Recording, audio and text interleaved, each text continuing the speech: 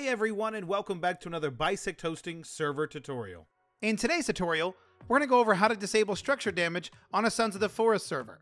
Disabling this structure damage will allow for players to focus on exploration, survival, and building, and they don't have to worry about their creations being destroyed.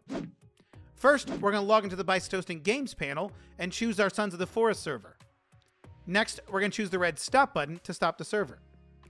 We're then going to go to the File Manager tab, and then we're going to go to the Server Config folder.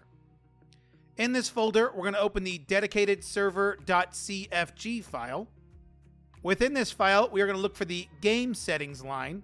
And within these brackets, we're going to enter the following quotation structure dot damage quotation colon space false.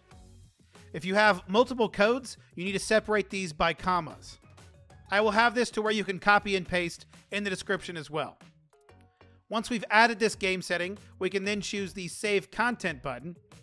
Then we can go back to the console, start our server, and we will have disabled structure damage on our Sons of the Forest server. If you have any questions, check out our knowledge base, bisecthosting.com slash KB, or you can submit a support ticket on our website.